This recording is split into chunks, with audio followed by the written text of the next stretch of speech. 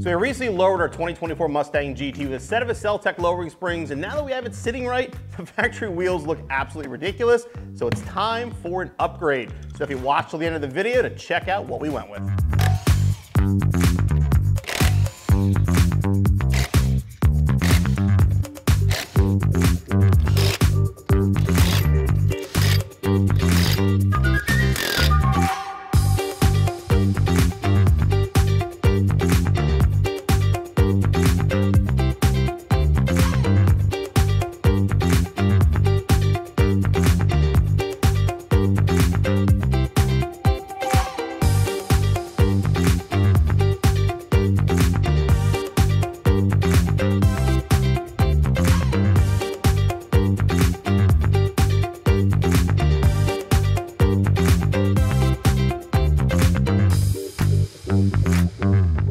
Our 2024 project is well underway. This car looked killer lowered, and our new niche wheels just take it up a notch. We went with the niche Vice. We went with a 20 by 9 in the front and a 20 by 10 and a half in the back with 275 35s and 295 35s. In my opinion, they look great on this car. You know, we were worried about the Vapor Blue, you know, what color is gonna work with that. If you know me, you know I love bronze wheels. I'm like, let's try bronze and I think it ties in beautifully with this color.